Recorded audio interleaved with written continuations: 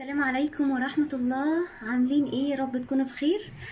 النهاردة هعمل معاكم آه، طريقة كفتة الحاتي بطريقة سهلة جدا وإن شاء الله تنفع معاكم. آه، عندنا هنا آم، نص كيلو أو هنقول أم، 650 جرام من اللحمة. عندنا 250 جرام من السمين.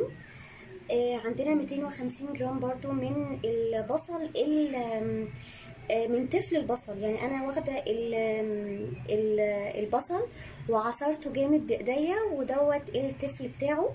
لازم نعصره كويس جدا يا جماعة. طيب عندي البهارات ملح فلفل أسود كزبرة بهارات لحمة. عندي جوز الطيب هاخد منها زي رشة بسيطة. آه عندي كفتة الحاتي من ماجي طعمها بيفرق جدا في الكفتة. جربوها هتعجبكم جدا. طيب يلا نبدأ. هجيب اللحمة المفرومة.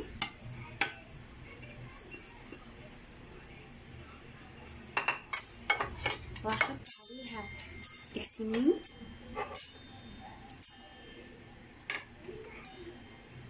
والبصل.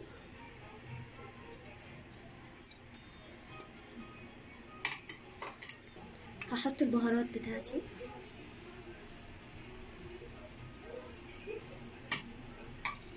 هحط رشة بس من جوز الطيب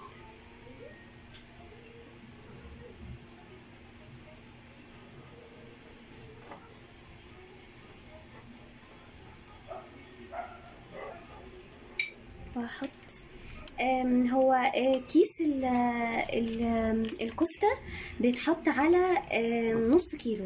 إنما أنا عشان أنا حاطة already بهارات لحمة وجوز الطيب وكده فهحط بس على على 750 جرام هحط كيس واحد مش هحط أزيد من كده.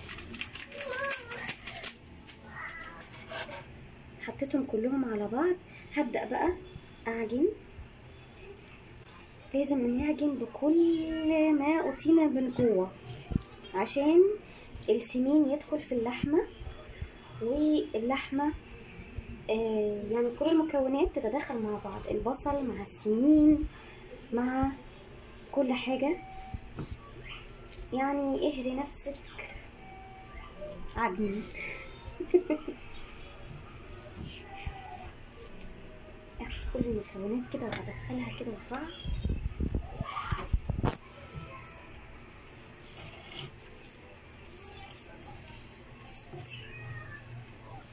زي ما إحنا شايفين أنا قعدت تقريبا عشر دقايق. بعجن فيها. والمهم كله في العجن إن أنا لما بعد ما أعجنها ألاقيها في زي بصوا زي في خيوط كده ما بين ما بين كل حاجة والتانية كده هي تدخلت معايا.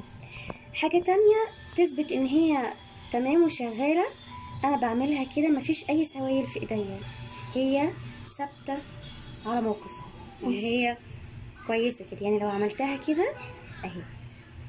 كل الحاجات دي بتثبت لك إن انتي ماشية صح وتمام.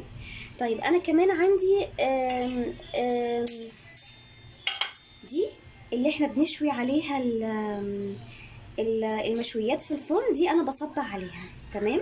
هبدأ أصبع دلوقتي. عندي مية البصل اللي أنا أخدت التفل بتاعته. هحط إيدي فيها واقصها بإيدي كده وأخدها. وادخلها يستحسن طبعا إن أنت تخلي ال- الصباع آه، رفيع وطويل لأن هو في الفرن بيكش. ياخد بصبعه بالطريقة دي. ببل ايدي هنا في مية البصل وبعمل هنا كده. اللي ممكن وانتي بتعمليها تعملي حبة كتير بقى كده وتعينيهم. بينفعوا جدا جدا في وقت الزنقة. أنا راجعة من الشغل ومش ومش لاحقة إن انت تعملي آه، آه، الأكل بتطلعي من الفريزر وبتعملي على طول. آه، كده إحنا عملت خلصت الصينية وهبدأ في صينيه كمان. عايزة أقول لكم معلومة كمان عن الحاجات اللي بتفصل الكفتة وما بتخليهاش متماسكة.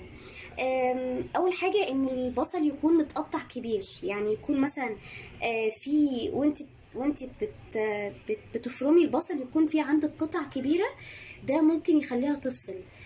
حاجة كمان إن البصل يكون فيه مية. المية بتخليها تفصل لأن ال- ال- اللحمة نفسها تنزل ميتها فهي مش محتاجة أصلا مية كتير. حاجة كمان في ناس بتحط معاها بقدونس. البقدونس كمان من الحاجات اللي ممكن تخلي ال الكفتة تفصل. في ناس بتحط مع الكفتة آه، بقسماط عيش مبلول. كل الحاجات دي مش أصل كفتة الحاتي خالص أصلها السمين وأصلها البهارات اللي بتتحط عليها. وبس كده. آه، هحطها في الفرن تقريبا مدة تلت ساعة. وعايزة أقول لكم إن الموضوع ده بيختلف من فرن للتاني. يعني انت تابعيها تابعي السوا بتاعها. و... وإن شاء الله لما تخرج من الفرن هصورها لكم. ويا رب الطريقة تعجبكم جربوها. هتطلع كفتة الحياتي هتبطلوا تشتروها من بره. طبعا في البيت طعمها ألذ أنضف بكتير حاجة مضمونة جدا. حاجة كمان آه، لو حابة يعني تنعنشي الجو كده وت... وتحسوا إن أنتوا يعني عند كفتة الحاتي فعلا ممكن. تجيبي فحمة وتولعيها على النار وتحطيها في ورق فويل تحطيها هنا في النص بعد ما تطلع وشوية زيت تحطيها على الفحمة وتغطيها هتبقى بطعم الفحم جدا وإن شاء الله تعجبكم جربوها هتعجبكم جدا هتحسي إن أنتي فعلا بتاكلي آه، كفتة الحاتي. أنا كده خلصت ويا رب نكون فد- فدناكم بحاجة. واستنونا فيديوهات جاية بوصفات جاية وهتبطلوا تشتروا أي حاجة من بره.